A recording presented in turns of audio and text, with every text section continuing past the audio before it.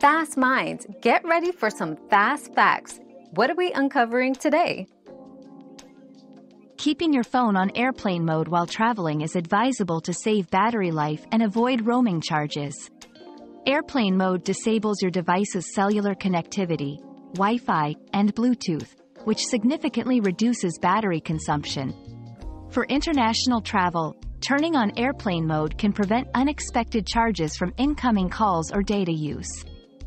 If you need to use Wi-Fi, you can manually enable it even while in airplane mode. This feature ensures you stay in control of your phone's connectivity and expenses. We've quenched today's curiosity, but there's always more to learn. Keep the curiosity alive by subscribing and joining us for our next adventure.